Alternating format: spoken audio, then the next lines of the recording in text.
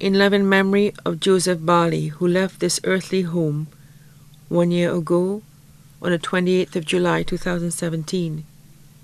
He was a loving husband, father, grandfather, brother, uncle, and friend. No words I write can ever say how much I miss you every day. As time goes by, loneliness grows. How I miss you, nobody knows. I think of you in silence, I often speak your name. But all I have are memories and some photos in a frame. No one knows my sorrow, no one sees me weep. But the love I have for you is in my heart to keep. I've never stopped loving you. I'm sure I never will. Deep within my heart, you are with me still.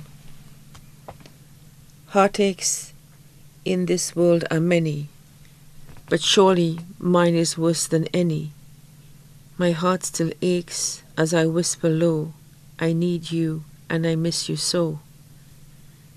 The things we feel are so deeply, and often the hardest to say. But I just can't keep quiet anymore, so I'll tell you anyway.